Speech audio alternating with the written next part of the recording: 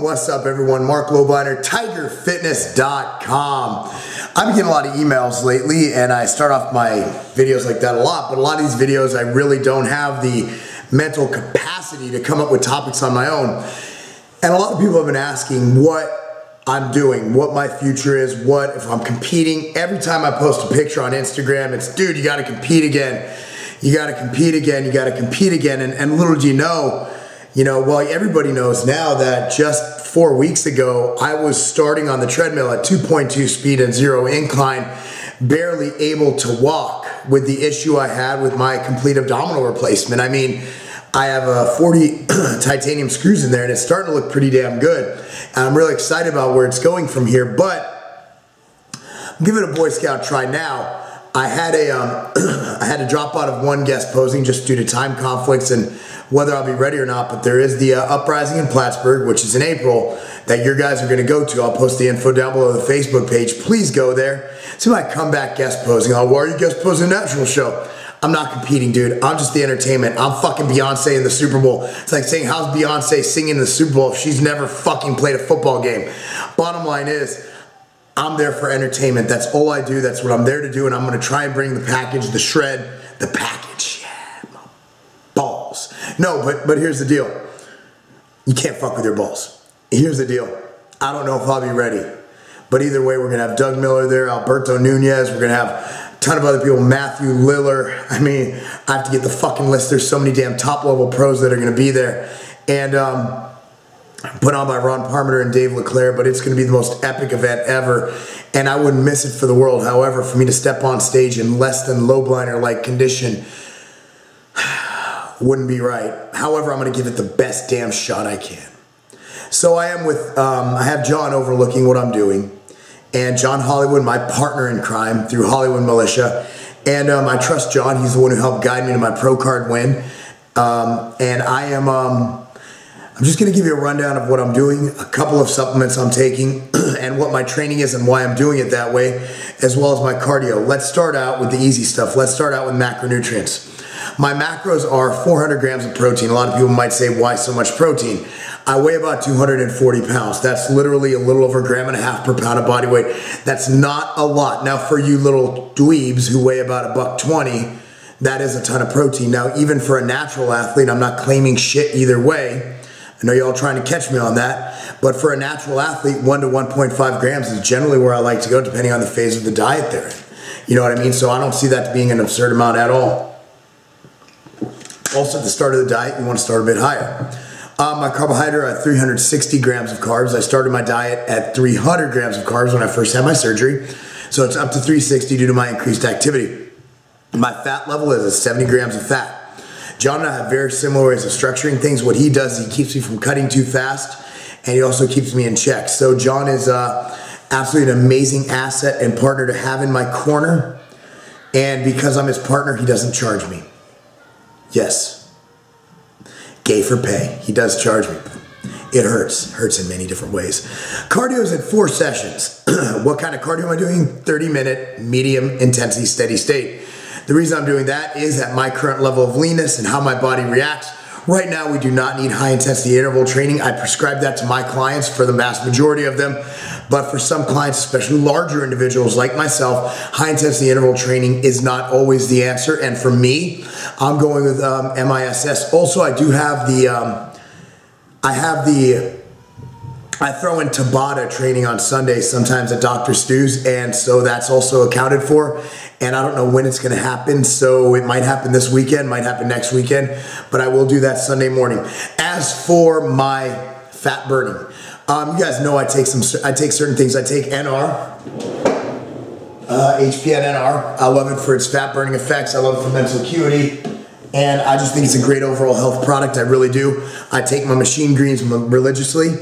Um, things I never talk about. Chris Jones actually put this in a video um, the other week. Is my uh, it's honestly it's one of the best selling fat burners online right now. It's number one by a mile on Tiger Fitness. It's drop factor. And there's me. Look, look how sexy I am. Look how sexy I am. Look at that sexiness. Anyway, check it out. This is my baby. Um, I formulated this to have the greatest amount of ingredients in there, the applications, doses of key compounds. It's not one of those blow your brain out of the water type stimulants. It gives you a nice energy boost, gives you a nice push. I'm taking that two times a day. Now, since I train in the morning, I'm taking my pre-workout before training at around 8 a.m., okay? Taking drop factor at around noon, and then again at around 3 p.m. I'm sorry, 4 p.m. And those are my doses. I'm also taking Yohimbine, you got to realize there's yohimbine in this too, so account for it. So I'm taking five to six extra yohimbe caps a day with my doses of drop factor. Doesn't matter if you're in an insulin deprived state, as long as your insulin's not completely spiked. It's not black and white, it's a gray area. So as long as you don't have insulin through the roof, I don't believe it affects fat burning at all um, from yohimbine. So I take it when I take my drop factor, since my insulin levels are always pretty well controlled. Um, that's the gist of the diet. Now my goals with this whole thing, I'm not, I'm kind of cutting right now, but right now, I've had four weeks of not inactivity, but where I wasn't training optimally. Now my training split is something I'd like to get into. I'm doing a four day a week Dorian style split. I'm doing legs on Monday. On Tuesday, I'm doing chest and biceps. Wednesday is off excuse me, Thursday I'm doing back and rear delts, and Friday I'm doing shoulders and triceps. For abdominals, I'm doing a lot of functional work. I will have a video on those coming right up. You've seen a lot of my Dorian training from Australia and also from home this week. And um, I'm just be going beyond failure. It's where I get my best results and where I feel it, it helps me the most. I have a very short attention span and I tend to just get bored of more than one set. So by doing one set, I'm really just interested more in training. I get a lot more weight and a lot more reps with a lot better form when I do just one set of each exercise, and that's why I thoroughly enjoy it. Um, with that said, other supplements I take, you know, I got, you know, fish oil, obviously. Um, pre-workout is my clash, and I'll throw an HPN P3 in when I really need to pick me up, Vortex. You know, I'm not really through the roof on supplements. You guys should know that my line is mainly basic supplements based on food. I gotta tell you though, it's gonna be an awesome having this cookies and cream whey. Dude, I guarantee you it's gonna be the best tasting whey you've ever tried. I'm beside myself. And those of you say, oh, well, there's other ingredients. Look, it has cookie bits in it. There's no, there's no cookie bits without some corn syrup in them, but it's very minimal. If you look at the macros, there's three and a half grams of fat, six grams of carbs, and 25 grams of protein. Literally one extra gram of carbs and fat for the cookies and cream.